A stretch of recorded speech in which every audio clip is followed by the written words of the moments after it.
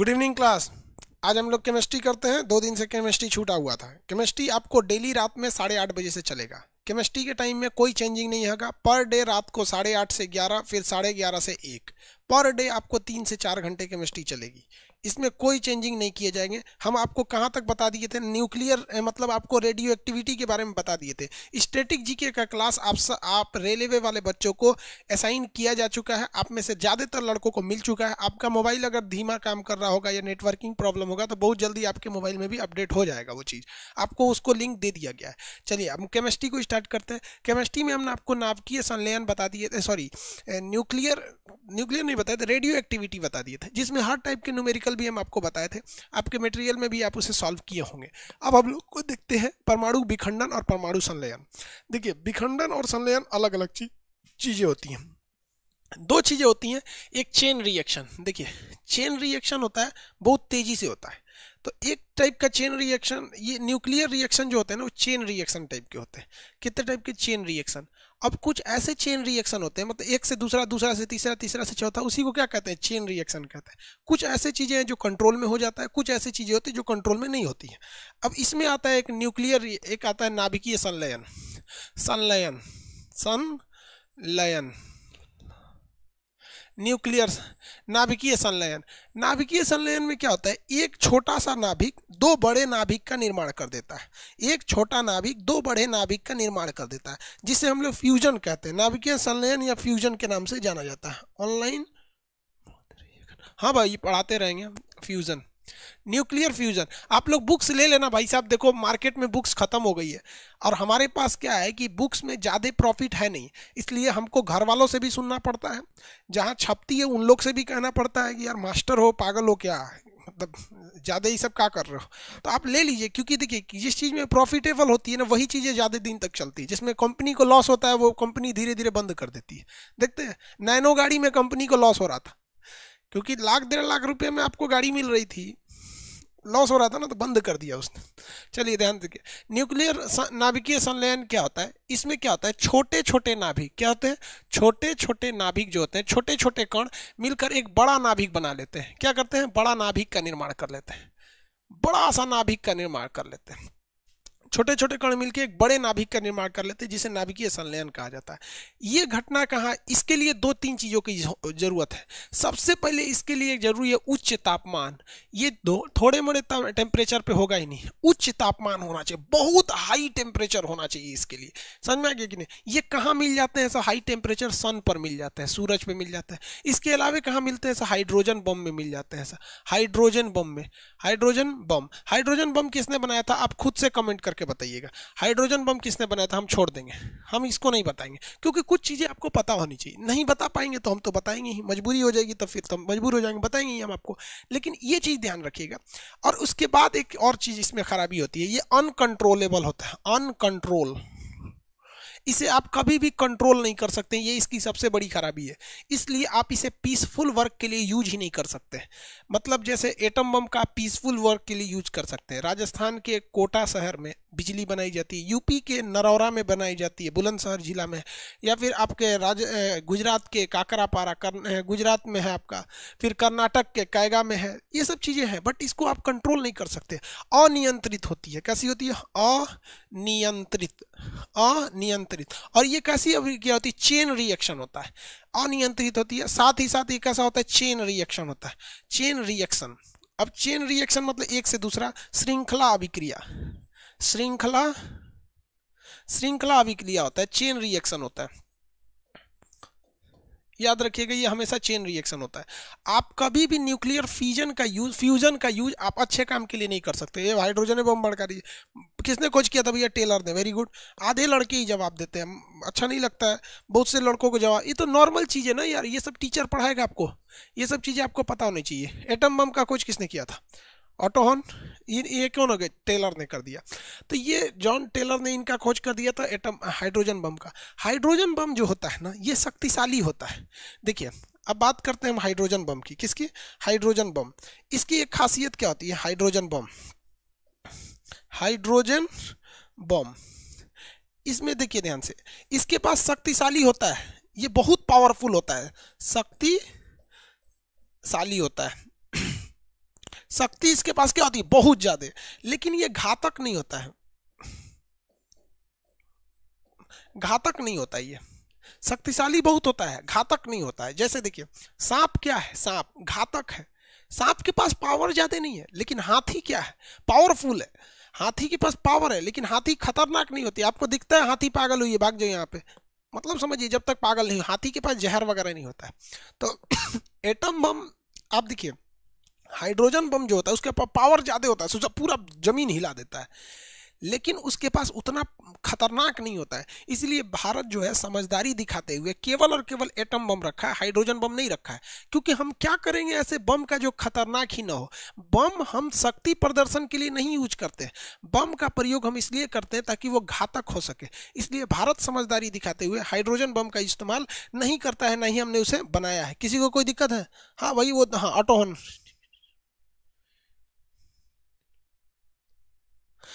चलिए ध्यान से समझिए, यहाँ तक में किसी को न्यूक्लियर फ्यूजन में तो दिक्कत नहीं है। हम लोगों ने एटम बम को बना के रखा है। अब एटम बम को समझेंगे, फिर एटम बम दो टाइप के होगा। एक कंट्रोल में हो जाएगा, एक अनकंट्रोल होगा। अनकंट्रोलेबल होगा तो बम बन जाएगा कंट्रोल में हो जाएगा तो न्यूक्लियर रिएक्टर बन जाएगा। चलिए, इतना में किसी को दिक्कत है तो आप बताइए। नहीं तो फिर हम आगे चलते हैं न्यूक्लियस फीजन यानी नाभिकीय विखंडन। न्यूक्लियर फीजन यानी नाभिकीय विखंडन की बात करते हैं। इसमें दिक्कत है तो बोलिए। किसी को कोई दिक्कत नहीं? एक एनटीपीसी टॉनिक बैच दे दीजिए। हाँ बाबू, ज़रूर दे देंगे। लेकिन जानते हो यार, हमारे बीएसएनएल वाले हरामियों ने ना मेरा जीना हराम कर दिया है। दिन भर में चार बार इनका नेट कट जाता है। बोलो तो फ़ोन नहीं उठाते हैं, ये नहीं करते। अब मजबूरी ऐसी फंसी है कि अगर हम यहाँ से सेटअप उठा के लेके जाते हैं पटना में तो उसमें कम से कम दो तीन दिन बर्बाद हो जाएगा। फिर थोड़ा टाइम लग जाता है ना आप सोचो यार आप समझ रहे हो मजबूरी यार। हम दो बजे आप बताइए आप रजाई में घुस के पढ़ रहे हैं, हम खड़ा होकर पढ़ाएँगे रात एक बजे तक। मजबूर हो है थोड़ा सा बस आपका खत्म हो जाए सिलेबस। अभी आप लोग को भी लगता होगा कि नहीं, सर, सिलेबस तो खत्म हो जाएगा। स्टेटिक जीके का आपको लिंक भी है मतलब ऐड हो चुके हैं।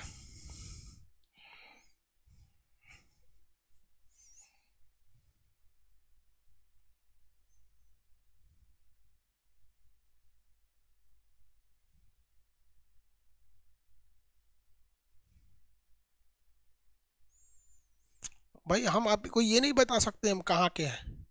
हम बस आपको इतना बता सकते हैं कि हम भारत माँ की एक संतान है। और मेरा मेरा सपना पैसा नहीं है।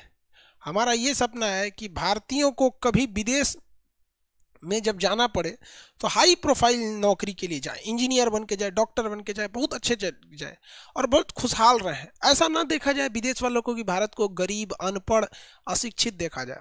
बस यही है मेरा एक एड्रेस मेरा धर्म पूछिएगा। तो मेरा धर्म यही है कि हम एक हिंदुस्तानी हैं। हमारी जाति पूछिएगा तो मेरी जाति है कि हम एक शिक्षक हैं। इससे ज़्यादा हमको कुछ पता ही नहीं। हमारा चेहरा देख के आप मेरी जाति या धर्म का पहचान नहीं कर सकते। ना ही हमने कभी कोई ऐसे संकेतक कपड़े पहने, ना ही कोई ऐसा कुछ चीज़ों का प्रयोग किया जिससे हमको मेरी जाति पता चल सके। हमारी धर्म हिंदुस्तानी है और हम हिंदुस्तानी बन के ही मरना चाहते और जाति हमारी शिक्षक है। और किसी को कुछ जानना है? जन्म स्थान भारत माँ। और किसी को जानना है?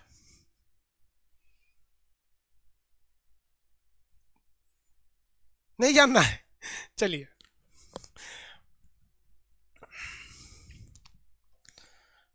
लोग कहते हैं कि खान सर के पास सब कुछ है।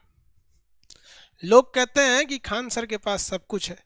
लेकिन खान सर से पूछो कि हमारे पास मेरे विद्यार्थियों के सिवा कुछ भी नहीं है। जो हैं वो मेरे विद्यार्थी हैं, जो वही है मेरे अपने। बाकी कुछ है ही नहीं। अब दुनिया को लगता है कि सब कुछ। नथिंग एक्सेप्ट यू विखंडन।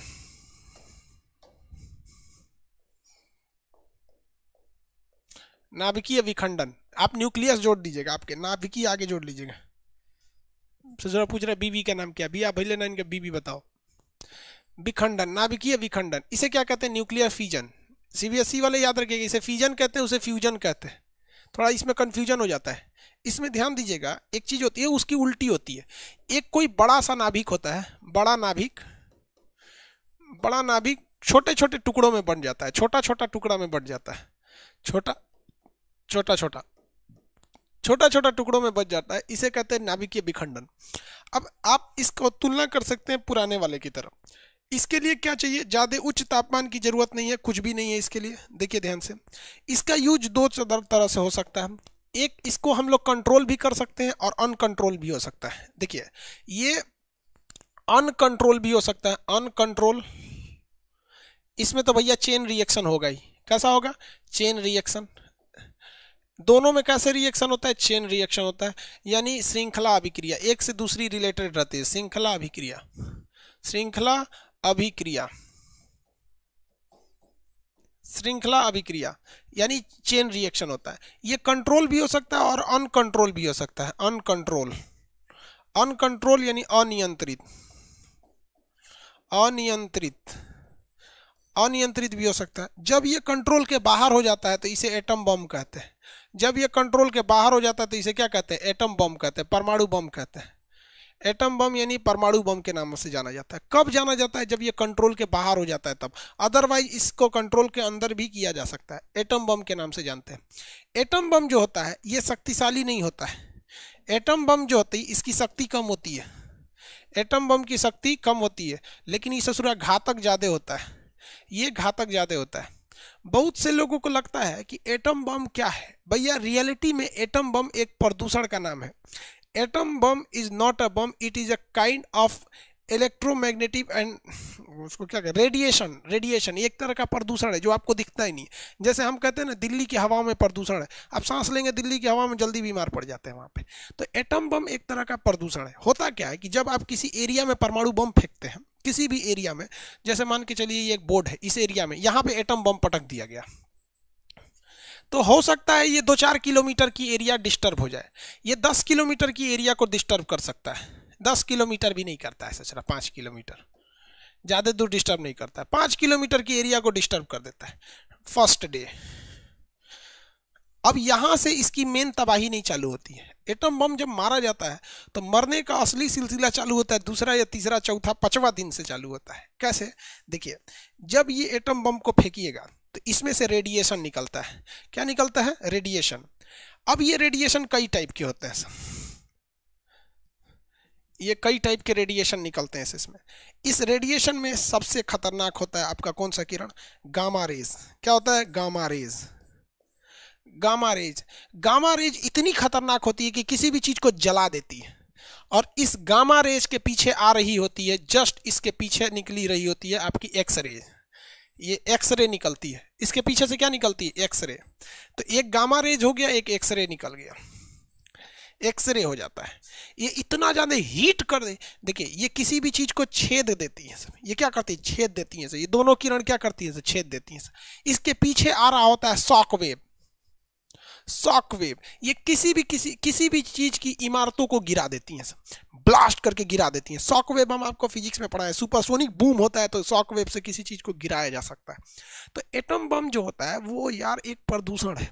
हम लोग को लगता था जिस तरह से फ़िल्मों में ऐसे बम मारता है तो कुछ दूर आग लग जाता है, वैसे पूरे शहर में आग लग जाता है। कुछ नहीं होता ऐसे सुनिए आप।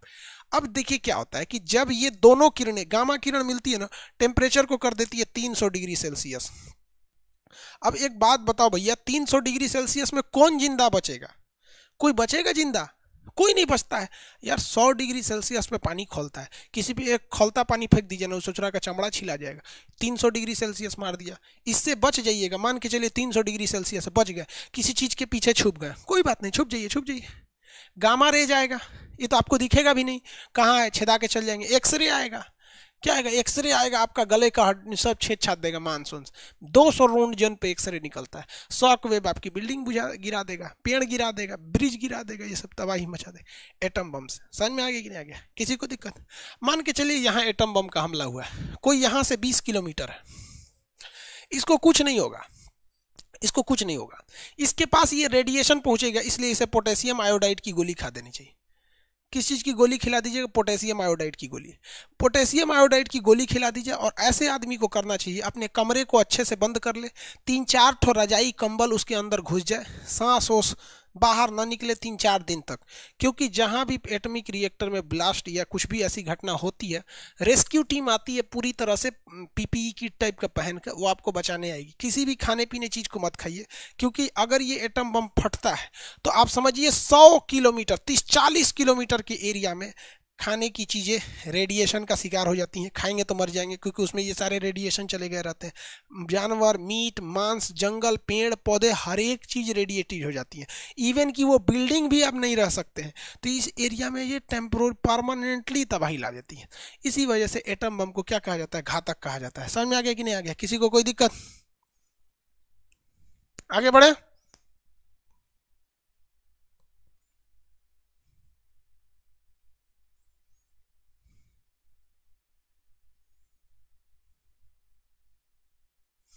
किसी को कोई दिक्कत नहीं है। आगे बढ़े क्वेश्चन पूछिए ना, आप कह रहे पीएम अलीगढ़ मुस्लिम यूनिवर्सिटी जा रहे हैं। तो क्या गलत है भैया? हमारे देश के प्रधानमंत्री हैं। वो नहीं जाएँगे तो कौन जाएगा? हाफिज सईद। हाँ? अच्छी बात है। जेएनयू में गए थे ए में जाए बी में जाए, अलीगढ़ मुस्लिम यूनिवर्सिटी में। अच्छा तो है, मोदी जी स्टूडेंट से मिल रहे हैं।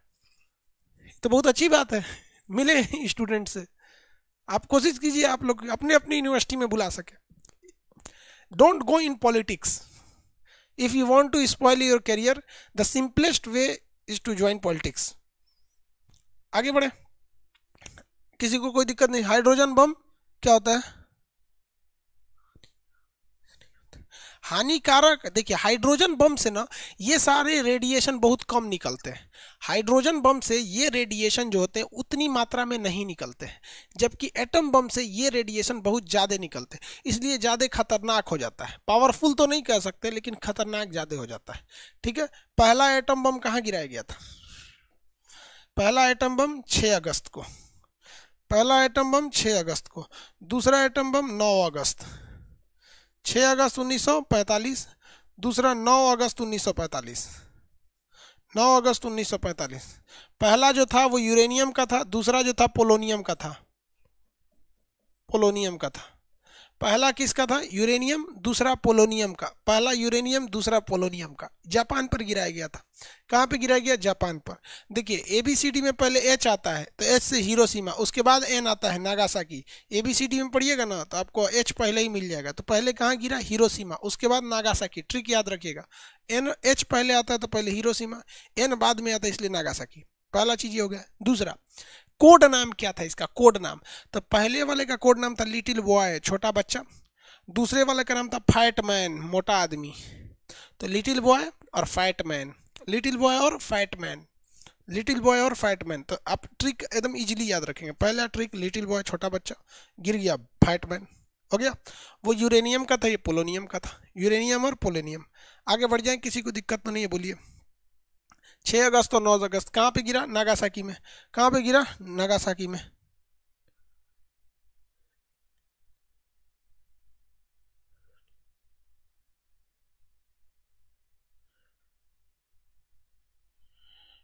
आगे देखिए, ये चीज़ें जो होती है, अन, ये न्यूक्लियर इसको हम लोग कंट्रोल में भी कर सकते हैं।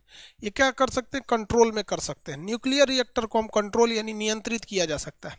जब आप नियंत्रित कर देते हैं, जब क्या करते हैं? नियंत्रित कर देते हैं तो उसे हम लोग कहते हैं atomic plant atomic power plant atomic power plant power plant नाभिकीय बिजली घर। चलिए एटॉमिक पावर प्लांट के बारे में हम समझते हैं। एटॉमिक पावर प्लांट क्या होता है? इसको हम लोग रफली थोड़ा सा समझते हैं। एटॉमिक पावर प्लांट, यानी ये जो नाभिकीय विखंडन है, ये कंट्रोल में भी हो सकता है अनकंट्रोल में भी हो सकता है। लेकिन जो इससे पहले वाला था नाभिकीय संलयन, वो अनकंट्रोल ही होता है। ये कभी कंट्रोल ही नहीं हो सकता। अभी तक तो कंट्रोल नहीं हुआ। आगे वैज्ञानिक लोग कुछ कर दे तो भैया हम क्या कर सकते हैं? फिर पढ़ाएँगे भैया कि कंट्रोल हो गया। देखिए न्यूक्लियर रिएक्टर क्या होता है? बिजली बनाने का एक यंत्र होता है। भैया बिजली कैसे बनती है? कुछ कुछ नहीं करना है बिजली बनाने के लिए। एक तो चुंबक ले लीजिए यहाँ पर। एक तो चुंबक ले लीजिए यहाँ पर। इसके बीच में एक तो क्वाइल घुमा दीजिए। इसके बीच में क्या कर दीजिए? कॉयल घुमा दीजिए। आर्मरेचर को घुमा दीजिए इसमें। बस आप दोनों साइड में चुंबक लेके इसको घुमा दीजिए।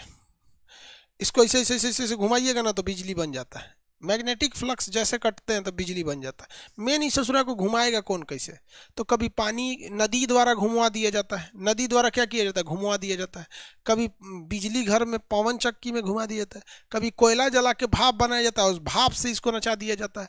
तो अलग अलग चीज़ें होती हैं भाई साहब इसके लिए। किसी को दिक्कत तो इसके एक स्ट्रक्चर बनाया जाता है इसके लिए। देखिए, हम रफली बता रहे हैं। ये एक मॉडल बना रहे हैं हम। ये क्या बना रहे हैं? एक मॉडल बना रहे हैं। ओरिजिनल हम कैसे बना पाएँगे भैया? ऐसा बनाने में दस साल लग जाता है। अब हम आपसे कहेंगे ताजमहल है तो ओरिजिनल ताजमहल थोड़े बना पाएँगे यार हम। उस्ताद अहमद लाहौरी है क्या? कि ईसा खान है। देखिए,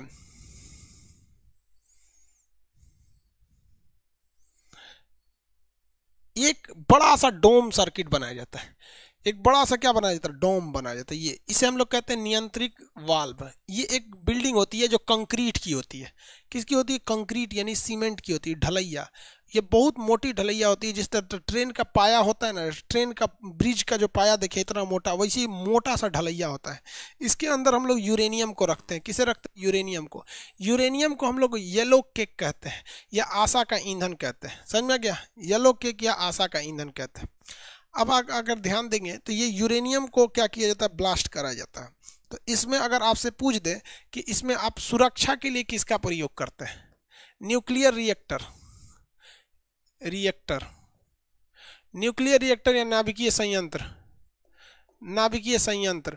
संयंत्र में आप सुरक्षा के लिए किसका प्रयोग करते हैं? तो न्यूक्लियर रिएक्टर में हम सुरक्षा के लिए प्रयोग करते हैं कंक्रीट की दीवारें कंक्रीट की दीवार कंक्रीट की दीवार का प्रयोग करते हैं। ये उसमें क्या करता है? सुरक्षा देता है। कंक्रीट की दीवार सुरक्षा देता है। अगर कह देंगे कि ईंधन के रूप में किसका प्रयोग करते हैं? तो फ़िलहाल में ईंधन के रूप में किसका प्रयोग होता है? यूरेनियम का। फ़िलहाल में यूरेनियम का यूज़ होता है। लेकिन अभी साइंटिस्ट इसका यूज़ करना चाह रहे हैं थोरियम का। थोरियम। थोरियम। लेकिन अभी इस पर रिसर्च नहीं हो पाया है। अब वैज्ञानिक इस पर रिसर्च भी नहीं करते हैं सब। क्यों नहीं करते हैं सब? कि यूरोपीय कंट्री और अमेरिकन कंट्री। इन दो ऐसे देश हैं जिनके पास साइंस बहुत डेवलप है और इनके पास इजीली यूरेनियम मिल जाता है। इसलिए ये जानबूझ के थोरियम पर रिसर्च नहीं करते हैं कि थोरियम से कैसे बिजली बनेगा।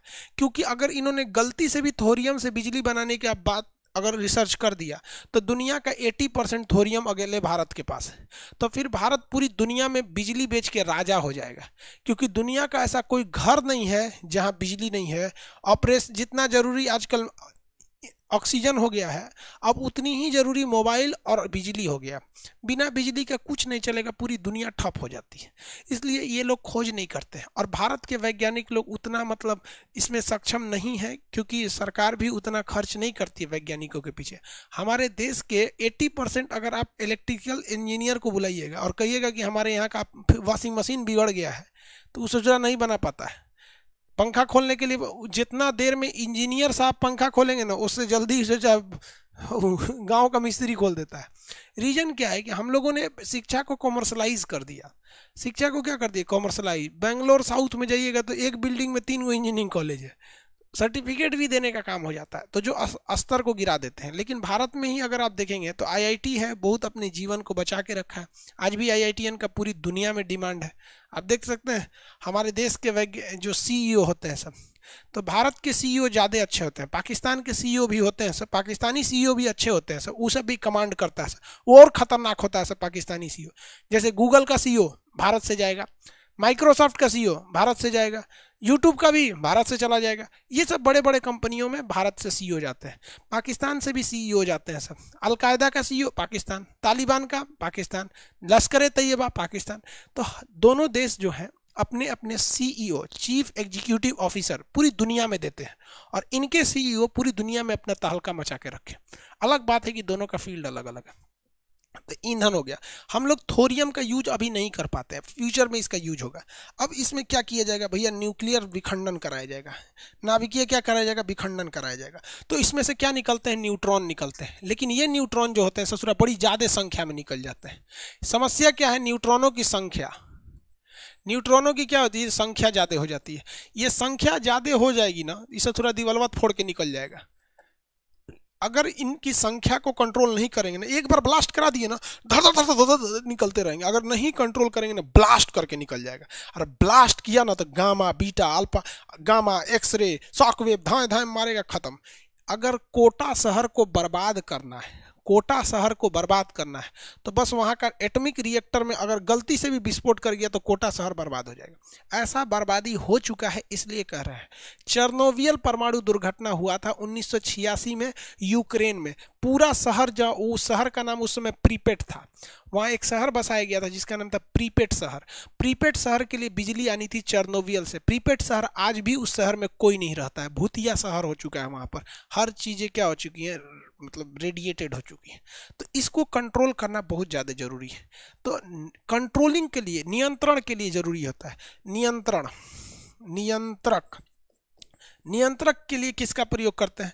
तो कैडमियम या बोरान का प्रयोग करते हैं। कैडमियम या बोरान का। बोरान का छड़। कैडमियम या बोरान का छड़ का प्रयोग करते हैं। कैडमियम या बोरान के छड़ का प्रयोग किया जाता है। आप कैसे कहेंगे छड़ का प्रयोग? तो देखिए, इसमें जगह जगह ना होल बने रहते हैं। इसमें कैडमियम या बोरान की छड़ घुसेड़ देंगे ना, कैडमियम या बोरान की छड़ घुसेड़ देंगे तो ये न्यूट्रॉनों को सोख लेता है। न्यूट्रॉन को क्या कर लेता है? सोख लेता है। समझ में आ गया? आप नहीं समझे। इजिली समझिए एक चीज़। आप देखे होंगे, घर जब बनता है तो मजदूर मसाला बनाते हैं सब। मजदूर क्या बनाते हैं मसाला? सीमेंट, गिट्टी, बालू एक में मसाला बनाते हैं। कभी कभी उनसे पानी की मात्रा ज़्यादा गिर जाती है तो पानी बहने लगता है। पानी क्या रहता है? बहने लगता है। तो पानी को कंट्रोल करने के लिए वो किस चीज़ का क्या प्रयोग करते हैं? बालू डाल देते हैं। बालू क्या करता है? पनिया सोख लेता है। बस। न्यूट्रॉन को कंट्रोल करने के लिए। किसको कंट्रोल करने के लिए? न्यूट्रॉन की बढ़ती मात्रा को कंट्रोल करने के लिए। हम कैडमियम या बोरान की छड़ का प्रयोग करते हैं। वो ऑटोमेटिक होती है, छड़ को बीच में डाल दिया जाता है। जैसे डाल देंगे छड़ को बीच में, वो न्यूट्रॉन की एक्स्ट्रा मात्रा को सोख लेगा। जितने ज़्यादा डाल देंगे, उतना सोख लेगा। खूब ज़्यादा डाल देंगे, सब सोख लेगा। न्यूक्लियर रिएक्टर बंद हो जाएगा। रिएक्टर क्या हो जाएगा? बंद हो जाता है। तो ये नियंत्रक के रूप में होता है। अब आपसे कह देंगे ये न्यू कैडमियम या बोरान की क्षण करते क्या है? तो ये क्या कहिएगा न्यूट्रॉन का अवशोषण। न्यूट्रॉन अवशोषण। न्यूट्रॉन का अवशोषण। अवशोषण। न्यूट्रॉन का अवशोषण। ये क्या करते हैं सब भैया? न्यूट्रॉन को क्या कर लेते हैं? सोख लेते हैं किसी को कोई दिक्कत नहीं है। आगे बढ़े। कल्पक्कम में थोरियम का यूज़ होता है। हाँ उसको हम लोग फ्रीडर फास्ट रिएक्टर कहते हैं। फ्रीडर फास्ट रिएक्टर कहते हैं। अभी वो फुली ऑपरेशनल नहीं हुआ है। अभी भी आप देखिएगा तो यूरेनियम पर ही निर्भरता है हमारी। वो उतना अच्छा अभी उस पर रिएक्शन नहीं हो पाया है। अभी उस पर वर्क चल ही रहा है। तो ये न्यूट्रॉन की गति को सोख लेते हैं भैया। अब आगे समझते हैं हम लोग इसके। इसमें जो न्यूट्रॉन बचे हुए हैं, उनको निकाला जाता है। ताकि उनसे काम कराया जा सके। इस, इसको निकालने के लिए भी एक अलग समस्या है कि उसकी स्पीड बहुत ज़्यादा होती है।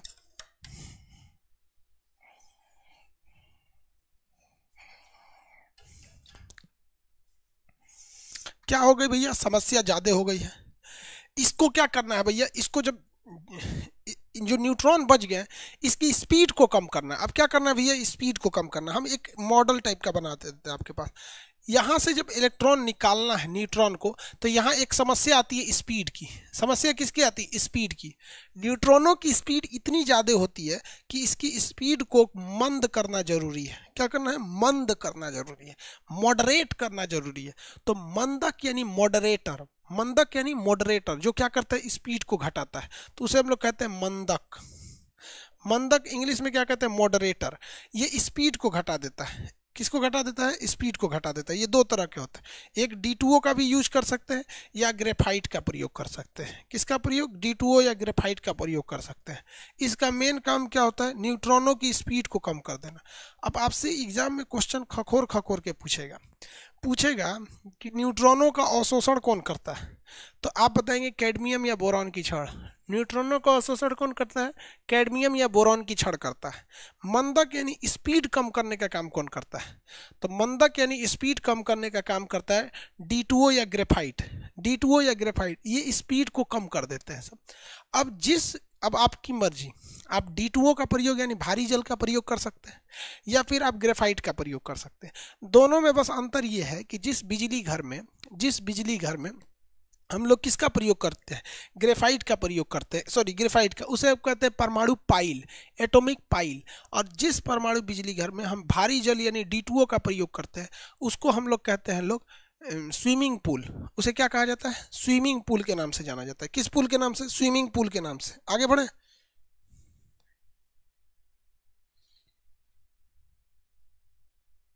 आगे बढ़े।